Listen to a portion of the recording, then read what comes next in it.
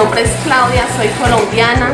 Gracias al gobierno regional que nos ha donado telas, estamos haciendo estas mascarillas con todo nuestro amor para toda la población, tanto acá del penal como de afuera.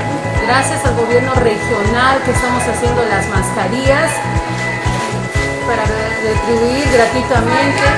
Por favor, lávense las manos, sean conscientes de esta enfermedad, que Dios está con todos nosotros para poder vencer esta lucha y ganar. Y por eso... ¡Quédate casa! Mi nombre es Marina, estamos estoy recluida en el penal de Puerto Pizarro. Bueno, estamos elaborando estas mascarillas para toda la población y la gente de afuera peruana. Por favor, eh, usen la mascarilla, lávense las manos, eh, traten de tener un metro de distancia para que todos, para que todos juntos podamos combatir esta enfermedad. Estamos elaborando mascarillas.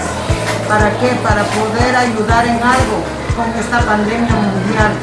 Por eso les pido compañeros, padres, madres, niños, usen esta mascarilla que es limpia y evita un poquito la, pandemia. Gracias al gobierno regional estamos confeccionando estas mascarillas para toda la población del penal de Puerto Pizarro y también para la gente que está afuera que se pueda proteger del coronavirus.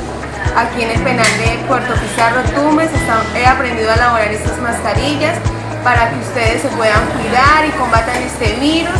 Por favor, cuídense, utilicen la mascarilla, lávense las manos, guarden la distancia para nuestra familia y para que podamos combatir este virus.